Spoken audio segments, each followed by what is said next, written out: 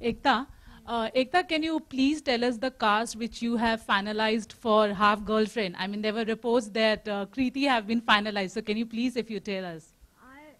I swear, I have no idea. I would love to the, the sound of the cast, but I really have only no idea. I swear. I um, uh, Mohit's just about to finish. I think he's just about to finish uh, And the moment he gets over with it, we will sit on the casting of Half Girlfriend. Uh, Ekta, Ekta, what went wrong between you and Ram Gopal Verma? You both were uh, supposed to produce a movie. Guys, this is supposed to be a Dolby Atmos press, press conference. There is no problem with Ram Gopal. Verma. I think I think we should just like finish this. I'm I'm. अब मेरे पास है Ekta, we have asked you a lot of questions in Dolby Atmos. It would be really great. if No, you no, could no. tell. I have no idea what you're saying. I have no problems with There Ram. was a sir. movie called XC, XCS, right? It's triple X. Trip, Triple X. Uh, ha- It's has it called been Triple shelved X. or uh, It's going on flows in March. with Ram Gopal Verma?